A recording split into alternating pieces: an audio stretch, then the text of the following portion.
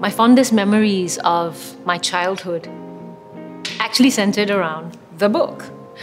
My mom had a book called the 555 book.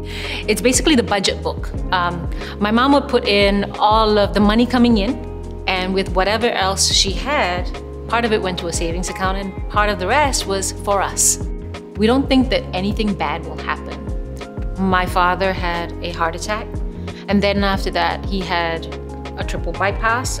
But my parents, being my parents, they were hesitant to get treatment. They were hesitant to go into the hospital for, for extended periods of time. And I asked them, why? Why are you worried? I will pay for that.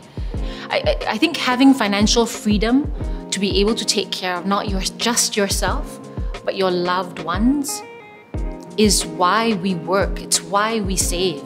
I like the fact that Endowus is honest and transparent about the fees that it charges me.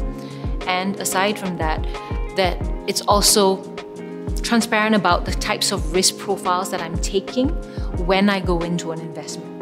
I want to be able to give back to my parents to make sure that they have a happy retirement without ever having to worry about money. And personally, when I retire, to be able to travel and see the world once again so yeah, that's my next chapter in life.